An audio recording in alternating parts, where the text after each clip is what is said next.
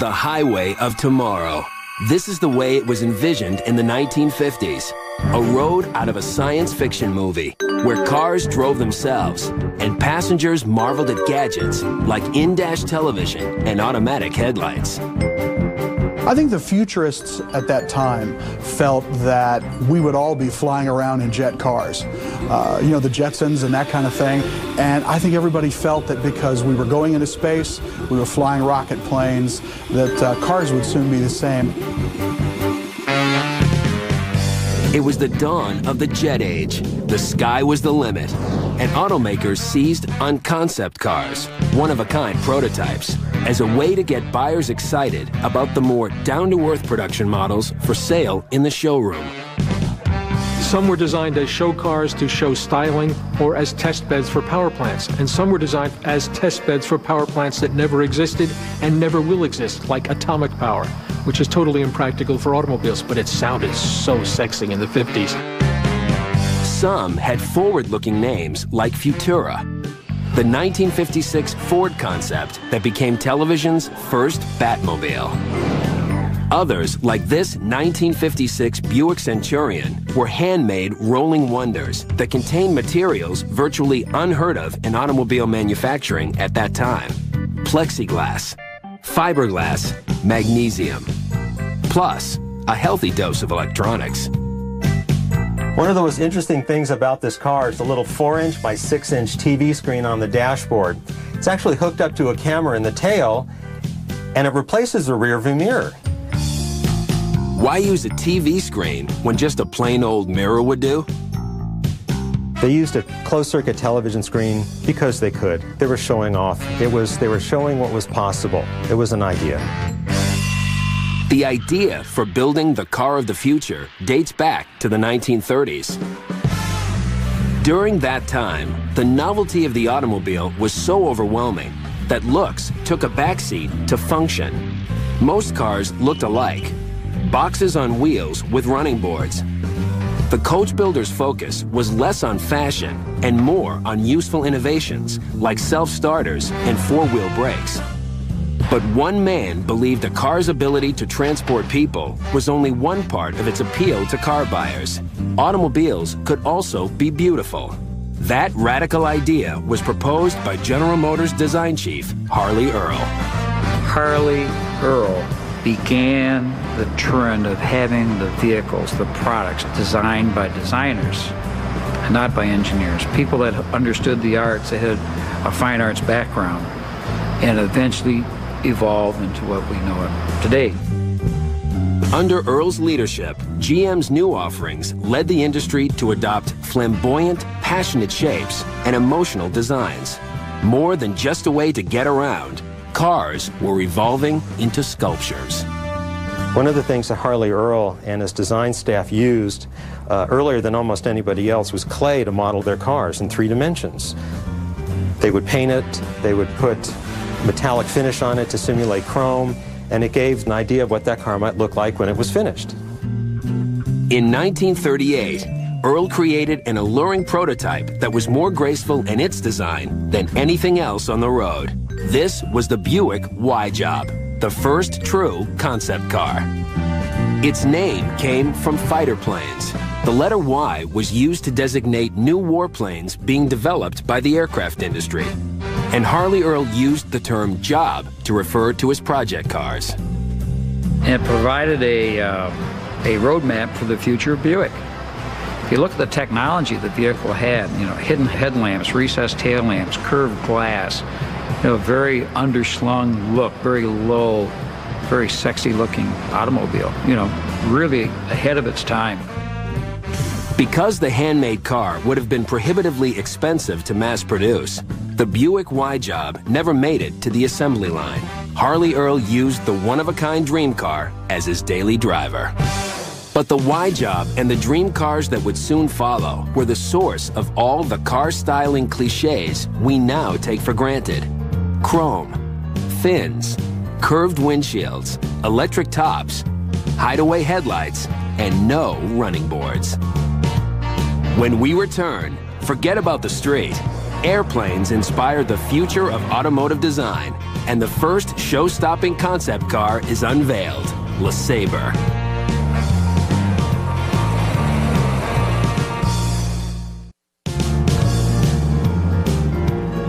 Two years after General Motors introduced America's first concept car, the Buick Y-Job, the country entered World War II, and automobile production came to a halt. Instead, Detroit automakers retooled to make war machines, like the Cadillac airplane engines, made for the Lockheed P-38 Lightning aircraft. When the hostilities ended, the legendary pursuit plane, with its huge twin tail booms and curved glass nose, had become the inspiration for the next generation of American dream cars.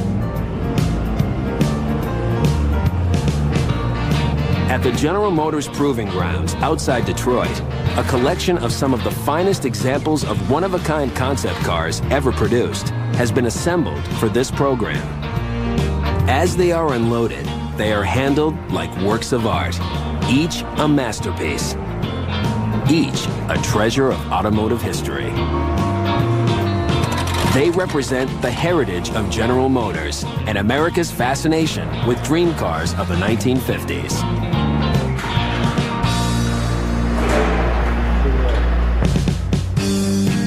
One of the crown jewels of the collection was first seen by the public in 1951.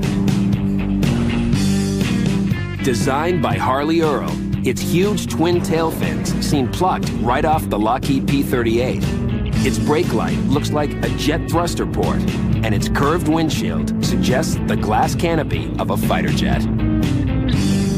Its name also came out of the sky, named after a fighter jet, the F-86 Sabre. This was a true dream car, the 1951 Buick LeSabre. When I look at all the concept cars right up through today. The LeSabre is probably one of the most significant and one of the all-time favorites. As General Motors design director, Jerry Palmer carried on the legacy that began more than 60 years ago when Harley Earl first envisioned the LeSabre. Certainly heavily influenced by aircraft.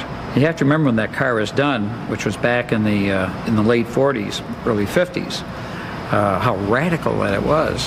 And you look at the features, the, the hidden headlamps, the, uh, twin tail fins, the fuselage body with these beautiful uh, shapes, sculpted shapes, and the panoramic windshield.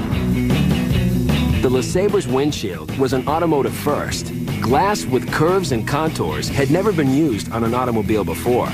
The so-called panoramic windshield on the LeSabre offered improved driver visibility, less air turbulence, and a one-of-a-kind styling detail. But the LeSabre concept car had more going for it than just a pretty face. Road noise and bumps were absorbed by some of the first gas-filled shock absorbers called air silencers that were fed by their own air pump located in the trunk.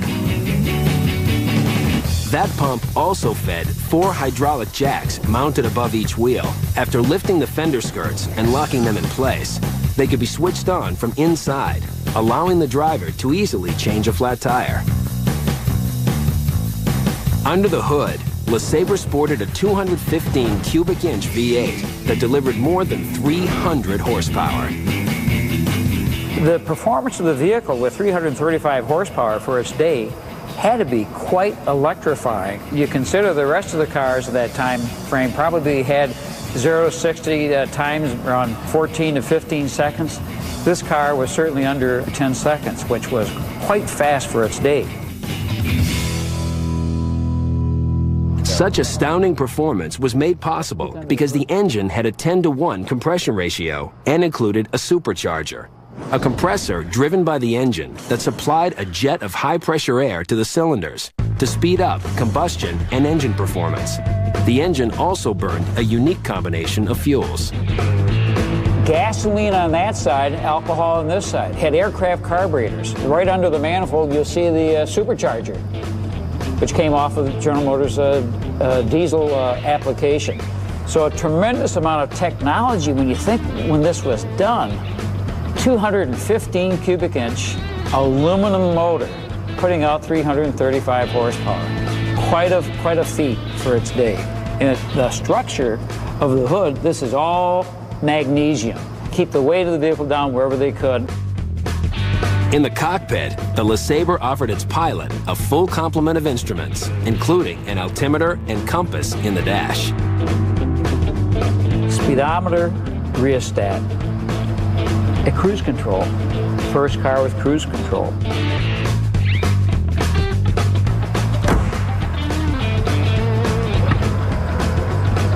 Power windows. One of the first cars with power windows. Top. The convertible top was motorized and was triggered to close automatically by a moisture sensor between the seats that detected the first sign of rain.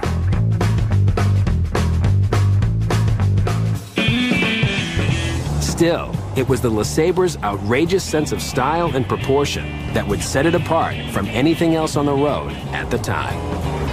Built of fiberglass and cast magnesium on a 115-inch wheelbase, the low-slung LeSabre stood a mere 36 inches high at the top of the cowl and appeared to glide as it rushed along the open road on 13-inch wheels.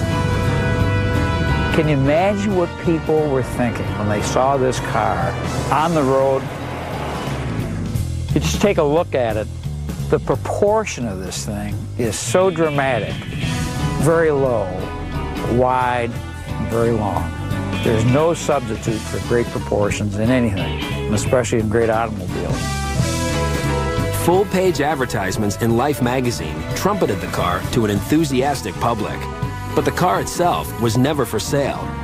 Features like power windows and hidden headlights would one day appear on production cars. But with the 1951 LeSabre, Buick was marketing the future. It feels remarkably unique.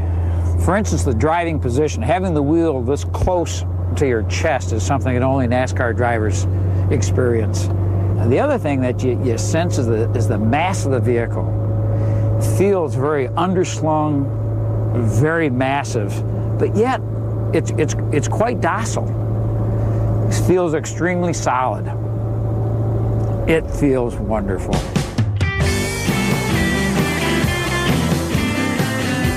The LeSabre had kicked off an ideas race in the 1950s. Styling for the future became the pulse of the American automobile industry. Buick's next concept car was a model named XP300. Unlike LeSabre, its design called for a higher stance. This would allow more room for the engine and mechanics underneath.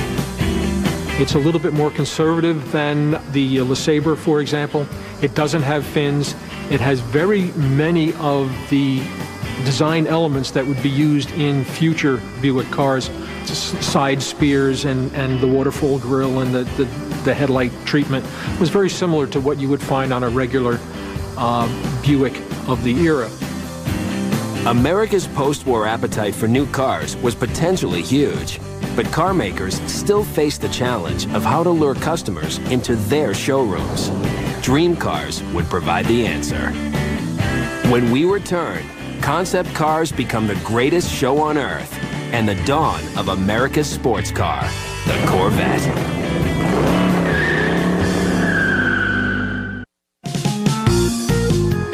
Does this Cadillac look a little small? What about this Buick?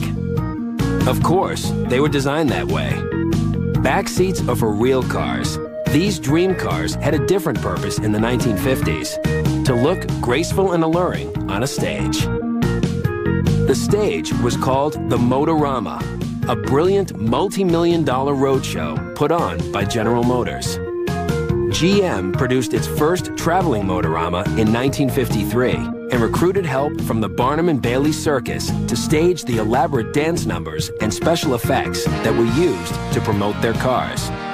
People would crowd in and they would see their favorite Cadillac, their favorite Chevrolet, their favorite Buick, their favorite Oldsmobile, their favorite Pontiac.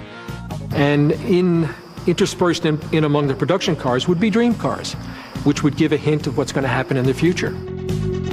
The exotic concept cars were hand-built Often, the controls didn't work. In many cases, there wasn't even an engine under the hood. But that didn't matter as long as there were plenty of wings, fins, and bubble tops to dazzle the potential car buyers. As they saw these dream cars, right alongside the dream cars, they saw the new offerings from, from that particular division. And they'd see a relationship between the dream car and the Buick that they could buy. There was the 1956 Buick Centurion.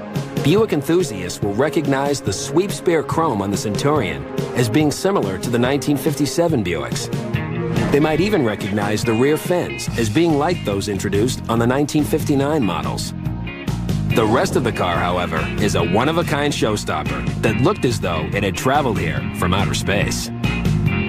This 56 Buick Centurion is an incredible mid-century fantasy of what a car would look like. Outside you had a very low silhouette, a plexiglass top that let the sun shine in and let you see out during a sunny day, or even if you were traveling down Broadway at night, you could look up and see all the lights. Inside you had a steering wheel that was cantilevered. It gave you a lot of room on the floor for your feet. The steering wheel actually hung from a long arm that extended from a central pod in the dashboard, connected to the steering column. You had a lot of aircraft themes. You had little pods that contained the instruments. The front of this car also evokes the feel of an aircraft. You've got a grill that looks like a jet intake. You've got headlights that look like they're recessed into jet engine pods. All in all, a very futuristic theme. The Centurion was a fully functional automobile with a 325 horsepower V8, but its advanced features, like a video camera in the trunk lid that sent an image of the road to a TV screen in the dashboard, made it too complicated and expensive to mass produce. One of the things that would probably have made it impractical as a production car was the thing that made it most interesting from the outside, and that's a plexiglass roof. Imagine sitting in this out in Palm Springs on a warm summer day. Uh, if the air conditioning failed or something went wrong, you had a problem. It was uh, like being inside a toaster oven. A wide open convertible, on the other hand, conveyed a sense of freedom, as well as a cool breeze.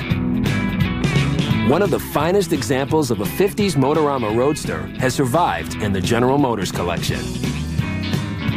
In 1953, this was Cadillac's entry into the Motoramas. It's the 1953 Le Mans. It features four headlight system for the first time on a concept vehicle. Features a more modernized tail fin, panoramic windshield, aircraft-inspired gauges. Even the steering wheel has inlay Cadillac in metal. It really shows the futuristic and aircraft-inspired design of the 50s. Very 50s car. As a concept car, it was proportioned for drama. Its windshield stood nearly 8 inches lower than the standard Cadillac convertible. This made the car body look especially impressive. The interior was also unusually small for a Cadillac. True to their identity as a luxury car, Cadillac interiors were generally very roomy. Up close, there were other details that set the Le Mans apart as a concept car, like the mirrors that were rendered in miniature so they would not detract from the body. One of the telltale signs that you can tell that this is a concept vehicle is that it's made out of fiberglass. Even though it looks like metal, it's not. Fiberglass allowed designers to sculpt a concept car body that contained elaborate compound bends and curves. The experimental Le Mans was named for Cadillac's heritage in the famed 24-hour endurance race, and the Le Mans not only conveyed style, but speed. It was powered by a 331 cubic inch Cadillac V8 stepped up to deliver 250 horsepower. Its performance was enhanced by two air cleaners, atop two four-barrel carburetors, and dual exhaust. Although futuristic when it was designed, its styling features soon became familiar trademarks on America's highways. One of the reasons why the Le Mans does not look like a outrageous show vehicle is that many of the features on this car would ultimately appear on later model Cadillacs. Uh, for instance, the bumper and grille look very much like 54, 55 Cadillac, and the quad headlight system on this car appeared on uh, Cadillacs in 1957.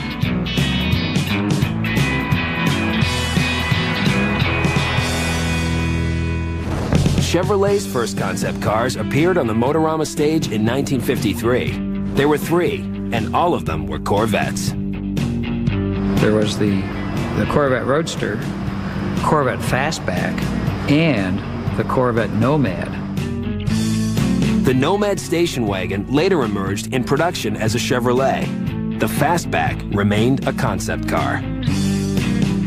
But the 53 Corvette Roadster became a production vehicle, the same vehicle. So there's a great example of a concept car becoming a real production automobile. Made of fiberglass, just like the concept version, the Motorama Corvette became America's first and best loved sports car.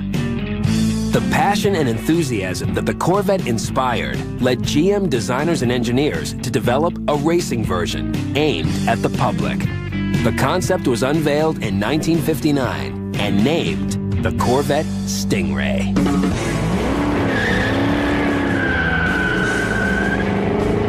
The 59 Corvette was designed as a race car and possibly one of the most beautiful Corvettes we've ever done and became the role model or the roadmap for the 63 Stingray. So there's another example of a concept car, concept car, race car, paving the way for a future production automobile. Originally painted red, the Stingray's first race was in April of 1959 when it finished fourth, competing against thoroughbred Porsches and race-proven Jaguars. The next year, it won its class in the Sports Car Club of America Championship.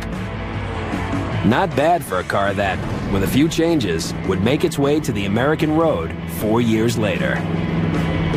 All the great Corvettes can trace their lineage back to this car.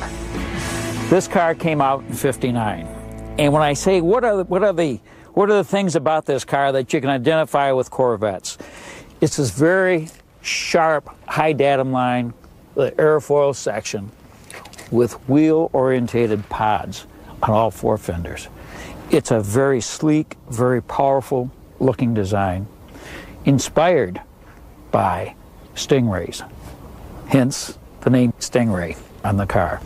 The first car to use the name Stingray.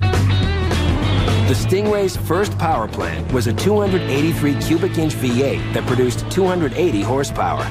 But just months after its first race, the car got a lighter body, painted metallic silver, and a performance boost. This is a 377 cubic inch special small block Chevrolet, about 400 plus horsepower.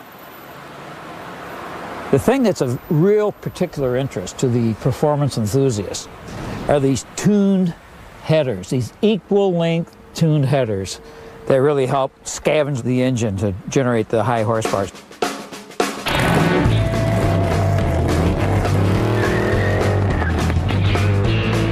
It was built for speed, but conveyed that message even when it was standing still. 59 Stingray is one of the most gorgeous automobiles that we've ever done. Most concept cars remained only wild ideas. But the Corvette took the fast track from dream car to reality. Driving enthusiasts finally got what they really wanted, a chance to own the dream. When we return, blast off with the rocket cars. By 1955, U.S. car production reached its highest point to date, and Americans were treated to ever-increasing fantasies of what the car of the future might be like. This concept car is the 1955 Firebird 1. What comes out of here is the exhaust at 650 degrees, and if you stay in one spot long enough on acceleration, you will burn the pavement up in the back of the vehicle. That's a product of a gas turbine. Once thought of as the motor of the future, gas turbines compress air and blow it into a combustion chamber where fuel is added and ignited. The resulting gas is hot, 1500 degrees Fahrenheit. The expanding gases turn a turbine wheel and produce power. This is the gasifier turbine where the fuel hits comes through here and goes back through. And the air intake is over up into the front right here, which is hooked to the gasifier turbine and it pulls the air through as it spins. Goes into the gearbox and spins the gears in there, and we have the drive system hooked to that. And that goes through to your transmission. When the Firebird 1 made its debut at the 1954 Motorama, it was nicknamed the Rolling Test Tube. Even if it didn't yet offer practical transportation, it was a jaw-dropper. Firebird 1 was really a R&D design vehicle to showcase gas turbine technology, to demonstrate how you could get a, a gas-fired turbine into the uh, everyday automobile. Key on, fuel pump. Pressure's up over 100, crank.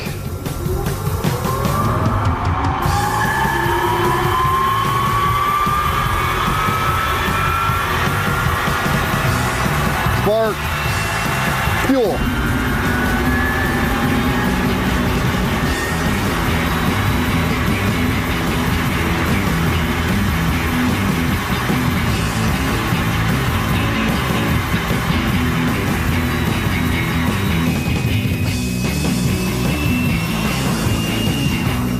Motorama, spectators were awed by its looks. The needle nose, delta wings, tail fin, and flip-up bubble top. These were aerodynamic features from the cutting edge of aircraft design, never before seen on an automobile.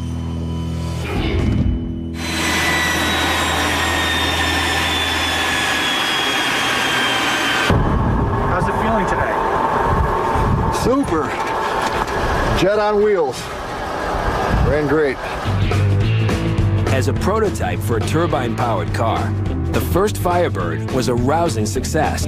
Film of the turbine-powered wonder in 1954 showed it reaching speeds in excess of 200 miles per hour on an Arizona track. And the flaps were not just for show. At the rear of it, these are uh, flaps to slow you down, which were functional in the day. When you brake, they popped up and for slowing you down, breaking, braking the air. Sure, the flaps served a purpose, but make no mistake, these cars were about showmanship. At the 1956 Motorama, a mysterious new rocket car was unveiled. Through clouds of mist and theatrical effects, the public got its first peek at Firebird 2. Firebird 2 to Control Tower. We are about to take off on the highway of tomorrow. Stand by.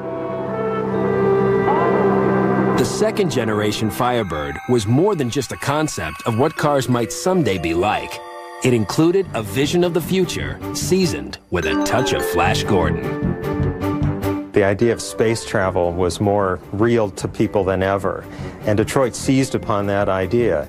And they thought, well, why not make cars look like rocket ships? Why not make them look like they would actually drive on the highways of tomorrow, perhaps even by themselves?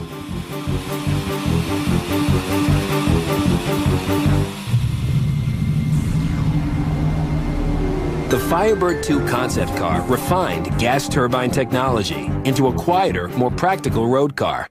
While Firebird 1 had seating for only the driver, Firebird 2 offered room inside for a family of four.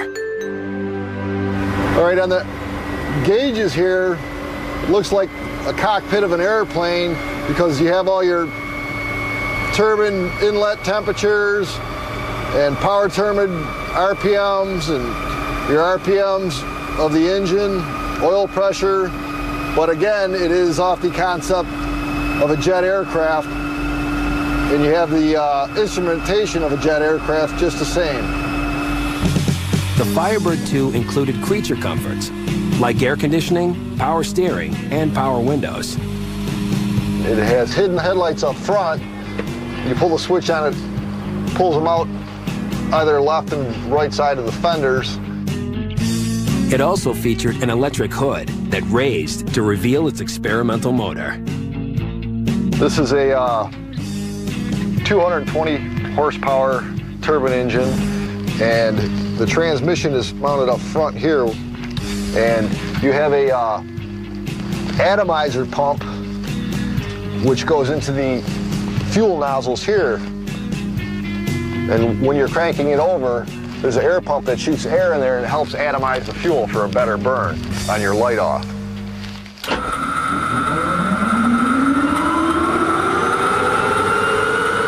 Hearing the turbine engine from one of the Firebirds start up is sort of eerie. It has this eerie, ethereal whine. And then, of course, it moves a lot of air, so there's a, a whoosh, a, a hiss that barks out of the exhaust, and it's, it's just nothing like any car you've ever heard. At cruising speed, the turbine engine hums along at 28,000 RPM and gets 15 miles to the gallon. It's nice to drive because you hear that turbine engine singing along and it feels like you're cruising in a jet. But gas turbines never beat out piston engines to power automobiles, primarily because gas turbines are made to run at a constant high speed. It also takes several seconds to rev the turbine up enough to move the car. For jet aircraft, that's okay, but not for automobiles that drive in stop-and-go traffic. By the end of the decade, the space age theme of concept car design would have run its course. But not before Cadillac got in there with one more just exceptionally flamboyant rocket-inspired car called the Cyclone. Now remember in 1959, that was the year the Cadillac had the big fins. Well, so did this one. And the two front pontoon fenders on this car looked like uh, rockets out of, out of something we'd see on its way to the moon in the 60s. The car gives you an extremely good peripheral vision. Uh, you get a 360 panoramic view, uh, which makes it very easy to see around the car. Exhaust ports mounted ahead of the front tires meant that the car was always driving into a cloud of its own exhaust. But with no tailpipes running underneath, Cadillac engineers could drop the chassis down so that the Cyclone rode just a few inches above the pavement. The car features a standard 390 cubic inch uh, Cadillac engine, makes 325 horsepower, and uh, I wouldn't be surprised if this car could top out well over 120 miles per hour. The Cyclone was a rolling laboratory that Cadillac used to test some of its most advanced safety ideas. In the front of the car, the two black domes are radar sensing domes, which gives uh, the car a proximity of what it's approaching, not only in feet, but also how much braking distance you'll need to stop the car. If you're not paying attention to those gauges, it has an audible alarm that increases with pitch as you approach whatever is stationary in the road. The Cyclone's collision avoidance radar was an automotive first and one that is yet to be perfected for the mass market. The outlandish plexiglass top helped give the Cyclone its science fiction looks and led to an even more unusual set of features. Because of the one-piece bubble top and the absence of roll-down windows, it necessitated a uh, intercom system so you could communicate with people on the outside as well as a as a pass-through door which uh, allowed you to uh, pass coins through to a uh, toll booth or exchange something with somebody on the outside. The Cyclone marked the end of the 1950s dream car era with style and excitement. But the tradition is alive and well today. When we return, dream cars of the rich and famous for sale.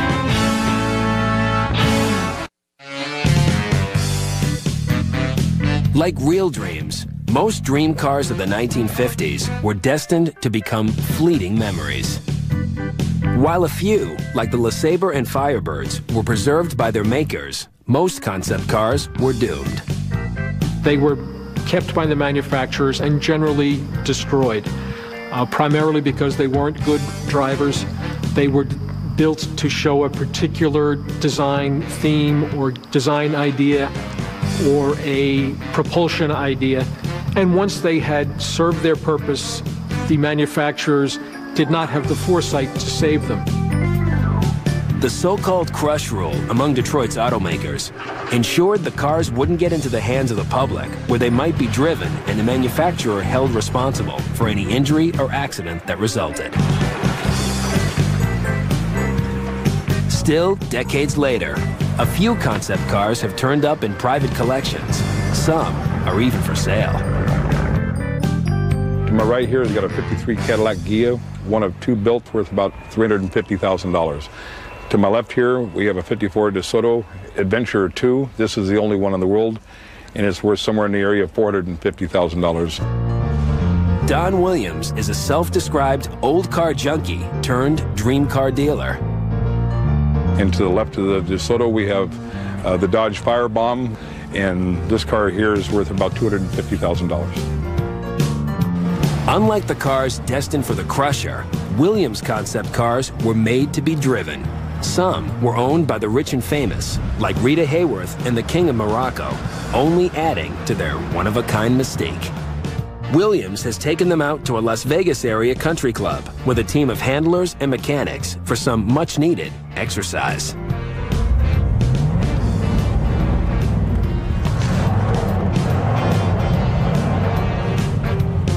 The jewel of this collection, the 1954 Adventurer II, a concept car by DeSoto. It was purchased from parent company Chrysler in 1956 by the King of Morocco after two years on the show circuit. The DeSoto Adventurer II was one of the most flamboyant of all the Chrysler idea cars. It was long and low and sort of looked like a rocket ship just flying along the ground. A very extroverted car and uh, one of the wildest of the whole era. Power came from DeSoto's version of the Hemi V8. The 276 cubic inch motor cranked up a respectable 170 horsepower. The Hemi engine got its name from its hemispherical combustion chambers, a feature that increased performance and power. Its outrageous looks were the product of Chrysler's chief designer, Virgil Exner, who sent the car to the Italian design house of Ghia where its one-of-a-kind body was made. Inside, the Adventurer's elegant, turned aluminum instrument panel faces a pair of aviation-inspired leather seats, which provide room enough for two. In place of the back seat, we have fitted luggage was put in by the factory. And as you can see that uh, it's all strapped in and designed specifically for this car. The Adventurer is not the only product of the Chrysler Ghia collaboration in Williams' inventory. This prototype Dodge was built third in a series of top-down concept cars that were named Fire Arrow. For this one-of-a-kind model, designers added back seats and a giant Chrysler power plant. This combination of brawn and beauty was named the Dodge Firebomb. John Workman is part of the team that keeps the cars running and ready for sale. 270 horsepower, uh, probably one of the very first Hemi engines produced by Dodge. The exceptionally large heads, of course, on a Hemi motor, I mean, they're a telltale sign of the car and the sheer power of the engine itself. It has the luxury ride to it. It's smooth, it's very comfortable. As far as handling goes, it's still a car from the 50s, so it still has that handling of a 50s car, that, that big feeling when you turn the wheel. The shift lever is unmarked and came with no park position, a telltale sign that this concept car was made to go, not stop. When you step down on the accelerator, you can feel the engine come to life. All the 270 horses all running at once. It's a feeling that can't be matched anywhere. Williams' collection also demonstrates that Chrysler was not the only domestic car maker that used Italian design studios like Ghia to fashion their concept car bodies. This Cadillac was made in 1953 at the Ghia studio in Turin. It was a custom order for one of Hollywood's most glamorous stars. This car would be best known for its, one of its former owners, which would be Rita Hayworth. Think of the era in the 50s and and the grand opulence of Hollywood at the time, and Rita Hayworth driving down Sunset Boulevard waving to her millions of fans at the time. The Rita Hayworth Ghia Cadillac, in my opinion, is one of the best ever of that type of car. It's a very voluptuous shape, it's powerful, but somehow still feminine.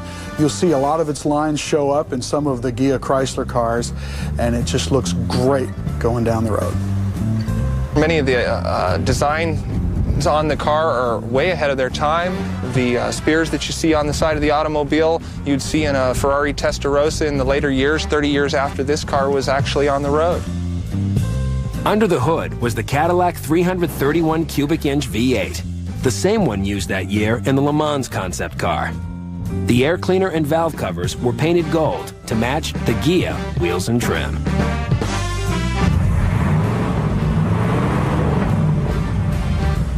We love that sound. It gives you a feeling, the rumble, it's low and rich, and it tells you that there's power there. It's just a wonderful feeling to be behind all of that. Best of all, it's available for well under half a million dollars. I think the reason somebody would want to buy one of these design cars today is because they're absolutely beautiful, and they're going to have the only one in the world.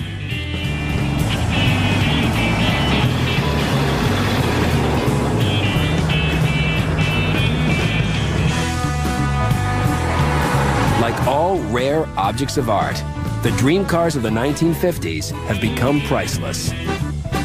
Are they as radical as they were back in the 50s? I think it's kind of uh, in the eyes of the beholder. Some of us think they are, some still love the cars of the 50s. The dream cars gave us a, a true dream and a vision of what we hoped the future would be like. And they were, they were just such beautiful machines. And as with dreams, we admire the concept cars of the 1950s for what they remind us about ourselves.